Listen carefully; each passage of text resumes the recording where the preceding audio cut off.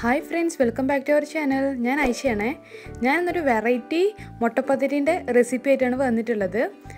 ഇത് കഴിക്കാൻ വേണ്ടിയിട്ട് വേറെ കറിയോ ഒന്നിന്റെ ആവശ്യമില്ല. ഇത് ഇത് മാത്രം കഴിച്ചാൽ അടിപൊളിയായിരിക്കും.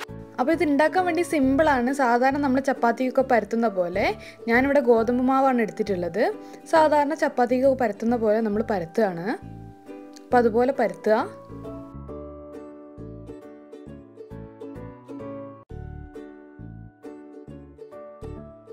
നല്ല നൈസായിട്ട് പരത്തണം കേട്ടോ. നല്ല നൈസായിട്ട് പരത്തുക. നമ്മളെ കൊണ്ട് കഴിയുന്ന മാക്സിമം നൈസായിട്ട് പരത്തിയിട്ട് അതിൽ കുറച്ച് ഓയിലൊന്ന് പുരട്ടി കൊടുക്കുക.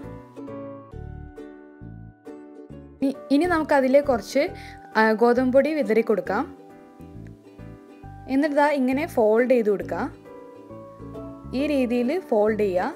ഇങ്ങനെ ഫോൾഡ് ചെയ്ത് എന്തിനാന്ന് വെച്ചാൽ നമ്മളത് പൊരിച്ചെടുക്കുന്ന സമയത്ത് അല്ലെങ്കിൽ ചുട്ടെടുക്കുന്ന സമയത്ത് ആ ഒരു ലെയർ കിട്ടാൻ വേണ്ടിയിട്ടാണ്.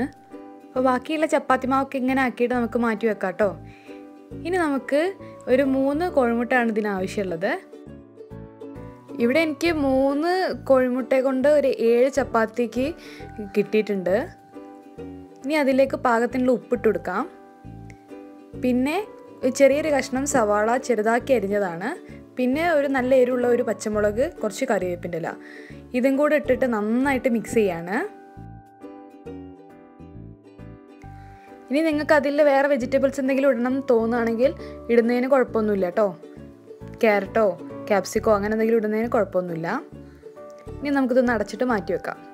ഇനി നമ്മൾ നേരത്തെ ഫോൾഡ് ചെയ്ത് മാറ്റി വെച്ചിട്ടുള്ള ചപ്പാത്തിയുടെ ഇതെടുത്തിട്ട് ഇനി നമുക്ക് പരത്താം. കുറച്ച് പൊടി ഇട്ടിട്ട് പരത്തി കൊടുക്കാം.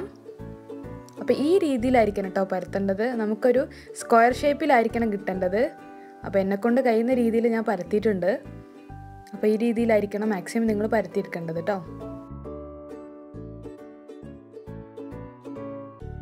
അപ്പോൾ അധികം തിന്നാവും ചെയ്യരുത് അധികം കട്ടിയാവും ചെയ്യരുത്. ഈ രീതിയിലായിരിക്കണം പരത്തിയെടുക്കേണ്ടത്. അങ്ങനെ നമുക്ക് എല്ലാം പരത്തിയെടുക്കാം. അങ്ങനെ ഞാനെല്ലാം പരത്തിയെടുത്തു. ഇനി നമുക്കിത് എങ്ങനെ ചുടാൻ നോക്കാം. അതിന് വേണ്ടിയിട്ട് ഞാനൊരു പാൻ അടുപ്പത്ത് വെച്ചിട്ടുണ്ട്. അതിലേക്ക് കുറച്ച് ഓയിൽ ഒഴിച്ചു കൊടുത്തു. ഇനി അതിലേക്ക് നമ്മൾ ഈ ചപ്പാത്തി ഇട്ട് കൊടുക്കാം.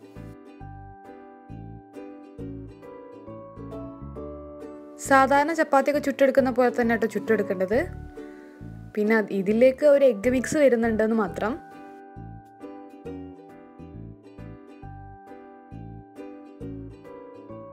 ആ അടിവശം ഒന്ന് വെന്ത് വന്നാലും ഒന്ന് മറിച്ചിട്ട് കൊടുക്കാം.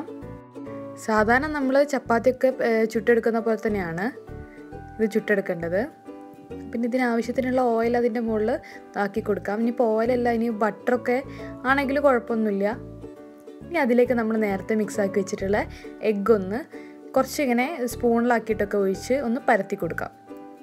ഈ രീതിയിൽ വേണം ചെയ്ത് കൊടുക്കാൻ വേണ്ടിയിട്ട്.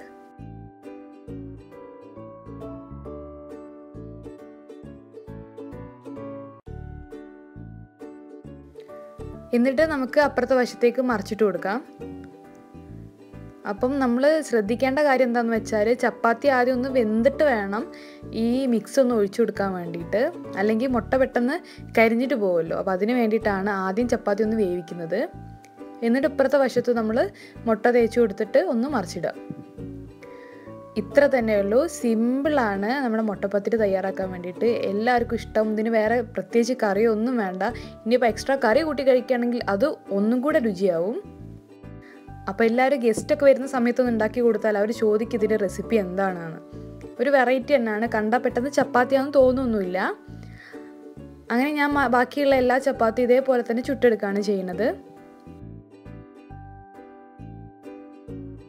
ഇതുപോലത്തെ സിമ്പിൾ ആയിട്ടുള്ള റെസിപ്പികളൊക്കെ കിട്ടണം എന്നുണ്ടെങ്കിൽ എന്റെ ചാനൽ ഇതുവരെ സബ്സ്ക്രൈബ് ചെയ്യാത്തവരുണ്ടെങ്കിൽ ഒന്ന് സബ്സ്ക്രൈബ് ചെയ്തിട്ട് സപ്പോർട്ട് ചെയ്യുക. പിന്നെ എന്റെ വീഡിയോസൊക്കെ ഇഷ്ടപ്പെട്ടാൽ ലൈക്ക് ചെയ്യുക. പിന്നെ നിങ്ങളുടെ ഫ്രണ്ട്സൊക്കെ ഷെയർ ചെയ്ത് കൊടുക്കുക.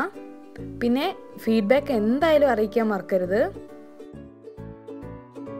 ഇനി എന്തെങ്കിലും വീഡിയോസ് ചെയ്യാനുള്ള റിക്വസ്റ്റ് വല്ലതും ഉണ്ടെങ്കിൽ അതും താഴത്തെ കമന്റിൽ അറിയിക്കുക.